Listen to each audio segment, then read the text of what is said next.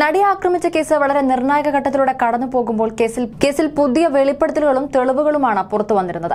കേസിൽ കാവ്യയെ ചോദ്യം ചെയ്യാൻ ക്രൈംബ്രാഞ്ച് ഒരുങ്ങുകയും ചെയ്തതാണ്. എന്നാൽ ഇപ്പോഴും കാവ്യയെ ചോദ്യം ചെയ്യുന്നത് അനിശ്ചിതത്തിൽ തുടരുകയാണ്. എവിടെ വെച്ചാണ് കാവ്യ ചോദ്യം ചെയ്യേണ്ടത് എന്നതിലാണ് ഇപ്പോഴും ക്രൈംബ്രാഞ്ചും കാവ്യയും തമ്മിൽ വാക്കുതർക്കം നടക്കുന്നത്. എന്നാൽ ഇപ്പോഴത്തെ ശബ്ദശകലങ്ങൾ വെച്ച് നടി ആക്രമിക്കപ്പെട്ട കേസിൽ വെറുതെ പുകമറ സൃഷ്ടിക്കുകയാണ് അന്വേഷണ സംഘം ചെയ്യുന്നതെന്ന് രാഹുൽ ഈശ്വർ പറയുന്നു.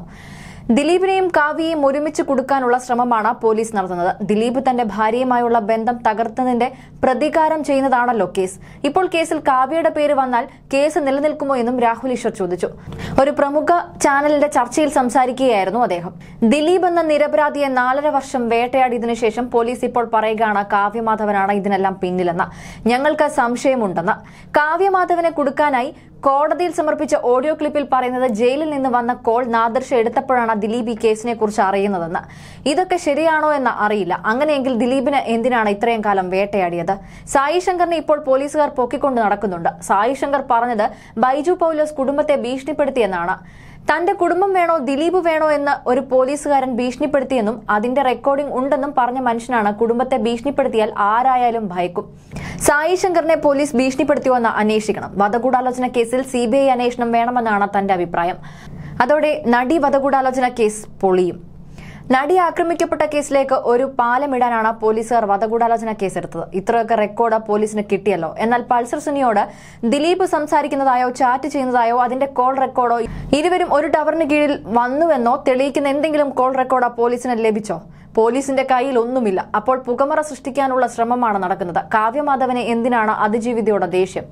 കാവ്യയ്ക്ക് ദിലീപിനെ ലഭിച്ചതും ഇപ്പോഴത്തെ ജീവിതം ലഭിച്ചതും അതിജീവിത കാരണമല്ലേ? മഞ്ജുവാരുടെ സുഹൃത്ത് വലയത്തിന് കാവ്യയുടെ ദേഷ്യമുണ്ടായിരുന്നു.